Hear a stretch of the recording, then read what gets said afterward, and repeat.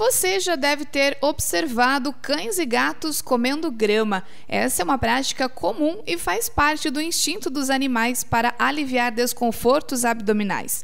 Conversamos com a médica veterinária Chayane Zini Lutz para tirar algumas dúvidas sobre esse assunto. A primeira dica é ter atenção com a grama que o animal vai ingerir. Ela ainda explica que a graminha é muito benéfica para o organismo dos pets. É importante saber que consumir grama não vai fazer mal para o bichinho, desde que você saiba a origem dessa grama. Grama de pracinha, grama de calçada, grama de canteiro de prédio são locais públicos onde há muito tráfego de animais e pessoas, ou seja, são gramas que normalmente estão contaminadas, e essa não é não é interessante deixar o animal ingerir.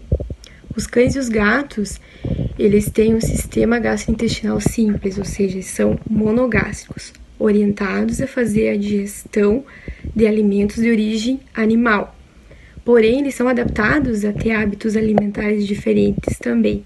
Por exemplo, eles conseguem receber nutrientes de várias fontes, animal, vegetal, frutas. Então, quando a gente observa um cão ou um gato consumindo grama, é um sinal que ele está com algum distúrbio gastrointestinal, quando ele está com alguma diarreia, dor de estômago, gastrite, fezes ressecadas, é, até verminose pode fazer com que ele consuma também a graminha. Por exemplo, vamos citar os gatos, que eles estão toda hora se lambendo para limpar sujeira, poeira, pelos soltos que eles têm pelo corpo. Mas o problema dessa prática é que muitas vezes, ao invés desses pelos serem eliminados corretamente, gradualmente, esses pelos se acumulam no estômago ou no intestino. Então, ele consumindo essa graminha, ele vai induzir o próprio vômito e ajudar a melhorar essas condições abdominais que não estão agradáveis para ele. Para quem mora em apartamento ou não tem grama no jardim de casa, uma opção é cultivar a graminha digestiva em vasos.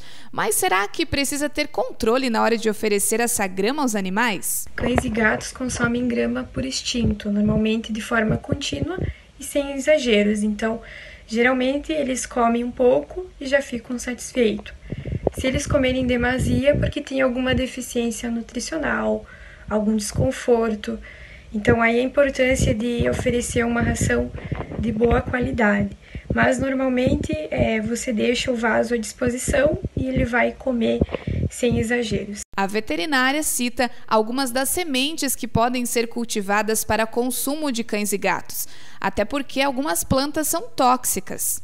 As mais utilizadas são as sementes de trigo, semente de aveia, semente de azevém, milho para pipoca, não aquele milho de micro-ondas, e algum, algumas sementes de ervas liberadas para cães e gatos.